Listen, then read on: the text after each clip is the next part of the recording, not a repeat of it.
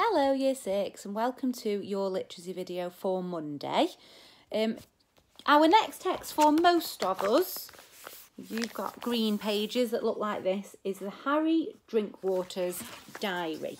Okay, if yours doesn't look like that and you haven't got that one in your book, don't worry, I will come to yours after this one.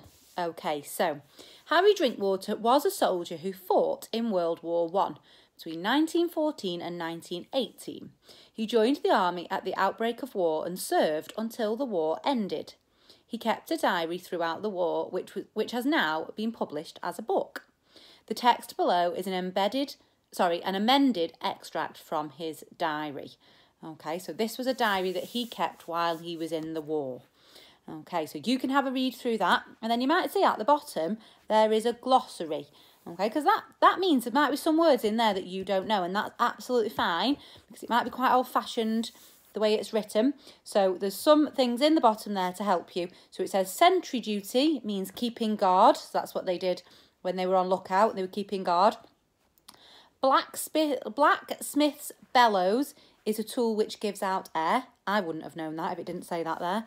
And billeted which means housed. Okay so given somewhere to go somewhere to live Okay, so let's have a look at some of your questions then. So the first one is a why do you think question. So that tells me that the answer is probably not going to be written in the text. We can't find it and copy it. You've got to use what you think.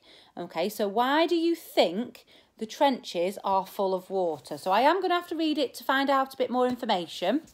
So in the first, on the first day, on Monday, December the 20th, it says the trenches are in a terrible condition. Anything up to four foot deep in mud and water. We're plastered in mud up to our faces. Our food, cold bacon, bread, and jam, is slung together in a sack that hangs from the dripping dugout roof. Consequently, we eat and drink mud. Okay, so why do you think the trenches are full of water? Think about where the trenches are. We did do a little bit of work on trenches when we did our poetry day. Have a think, what, what's going to fill them up with water? Okay, number two then, why do the soldiers eat and drink mud in line four? Now, I think we know that nobody would choose to eat and drink mud. So they're not doing it because they want to.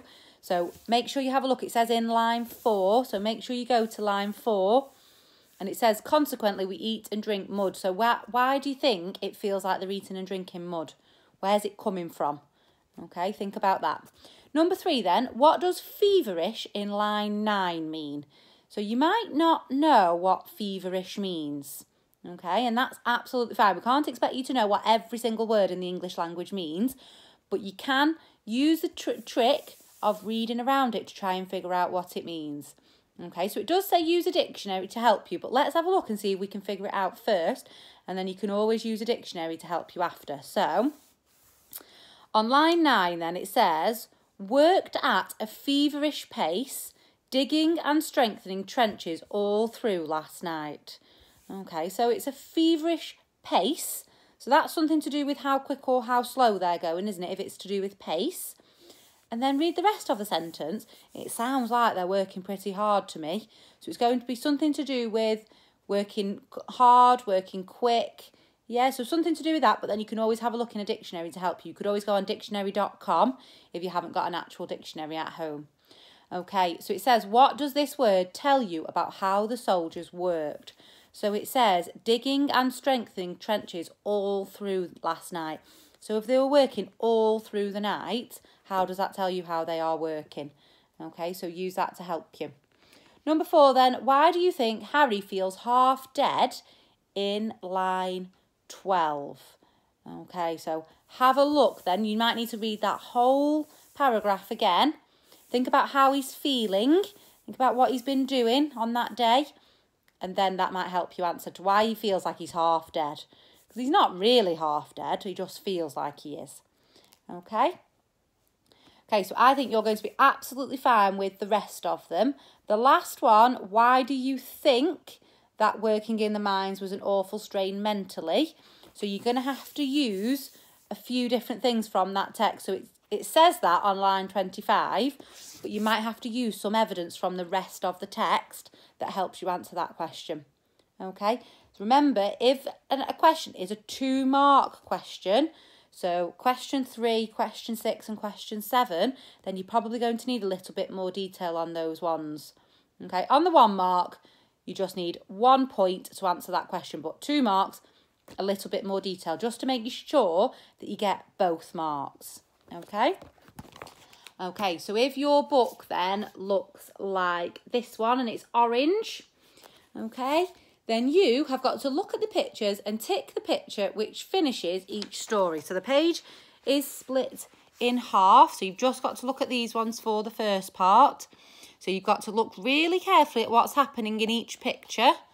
So in this first one, he's yawning. He maybe looks like he's about to go to bed or he's just got up maybe.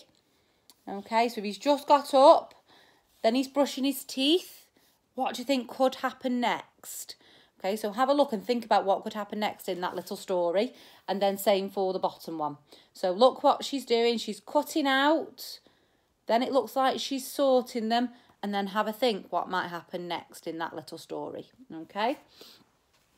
If your book looks like this one and it's blue, your next text is called Seasons. Okay, so you've got a little bit of writing on spring, summer, autumn and winter. So the different seasons of the year.